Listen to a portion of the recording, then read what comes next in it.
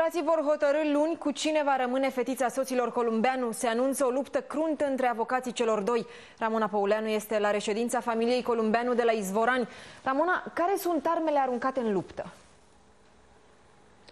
Bună ziua! Fiecare dintre cei doi este hotărât uh, să obțină cu orice preț custodia fetiței. De aceea Irinel uh, a spus uh, astăzi că fetița ar fi avut foarte mult de suferit din cauza mamei.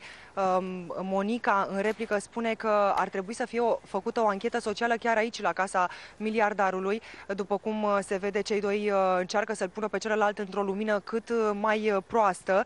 În, um, uh, el, uh, miliardarul s-a arătat foarte deranjat de cererea Monicăi. El a spus că fetița cel mai bine ar sta cu el pentru că uh, Monica nu are un domiciliu stabil și că el i-ar putea oferi toate condițiile necesare. Luni vom afla însă cui va da dreptate magistrații.